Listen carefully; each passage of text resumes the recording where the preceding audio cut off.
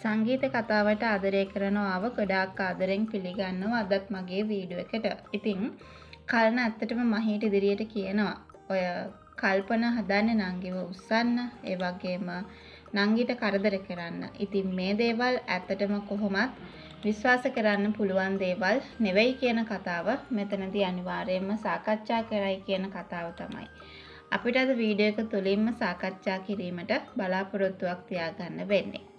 කොහොමනත් මේ ගැන කිව්වට පස්සේ කරාට පස්සේ කතා කරාට පස්සේ මොකද වෙන්නේ? අපිට අද වීඩියෝ එක තුලින්ම සාකච්ඡා කරන්නට පුළුවන්කමකුත් ලැබෙනවා කියන කාරණය ඇතුළේ ඉඳගෙනයි මම මෙතනදි ඔයත් එක්ක මේ දේවල් සාකච්ඡා කරන්න කැමති වෙන්නේ. ඉතින් කොහොම වුණත් ඇත්තටම කියනවා නම් කතා කරන්න ලොකුවට ආසාවක් ඇති වෙනවා. ඒ වෙන කිසිම දෙයක් ගැන නෙවෙයි කියන කතාව මම මෙතනදී ඔයත් එක්ක සාකච්ඡාවකට ගන්නත් කැමැත්ත පළ කරනවා කියන කතාව ඇතුළේ ඉඳන් තමයි අද වීඩියෝ එක තුලින්ම සාකච්ඡා කරන්නට කැමැත්තක් ඇති කරගන්නේ. ඉතින් කොහොම හරි අපිට තවත් දෙයක් ගැන සාකච්ඡා කරන්න පුළුවන්කමක් තියෙනවා. ඉතින් ඒක අමතක කරන්න පුළුවන් දෙයක් නෙවෙයි කියන කාරණය අද වීඩියෝ එක හරහාම සිහිපත් කරන්නට බලාපොරොත්තු රැසක්ම බලාපොරොත්තු ගොන්නක්ම තියාගන්නට කැමැත්තක් වෙනවා කියන කතාව ගැන මතක් කරන්නටත් අවස්ථාවක් තියෙනවා.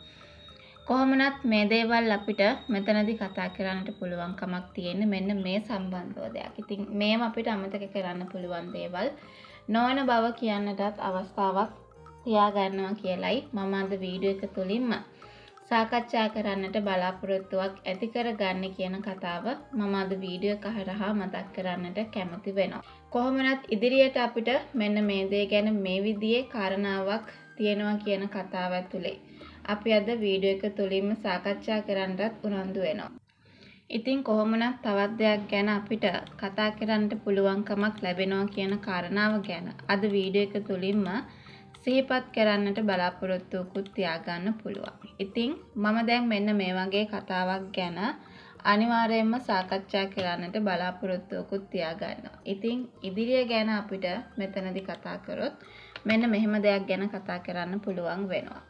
කොහොමනත් ඉතින් මහීට කලන මේ විස්තරය කිව්වට පස්සේ Tamanට ඉතින් කරන්න දෙයක් නෑ මෙතනදී මොන දේ සිද්ධ වුණත් කියන දේ ගැන පමණක් මෙතනදී කතා කරයි කියන බලාපොරොත්තුව අපි හැමෝටම තියාගන්න පුළුවන්. මොකද ඒකට හේතුව විදියට මෙන්න මේ වගේ සාකච්ඡාවක තමයි අපි හැමෝටම ඉන්න සිද්ධ වෙන්නේ කියන කතාව තමයි අද අපි මෙතනදී කතා කරන්නේ. ඉතින් හිතුවටත් වඩා කිසිම සතුරුදායක තීරණයක් නොමැති තැනක් තමයි මෙතන පැමිණෙන්නේ. ඉතින් ඒ නිසා ඒක ලොකුවටම ප්‍රශ්නයක් වෙනවට කිසි සැකයක් නැහැ. හැබැයි මහි කොයි වෙලාවකවත් ඇත්තටම අසේන ගැන සිතා මතා වැඩ කරන්නේ නෑ නේද කියලා දැනනකොට ඒක කලනටත් වේදනාවක්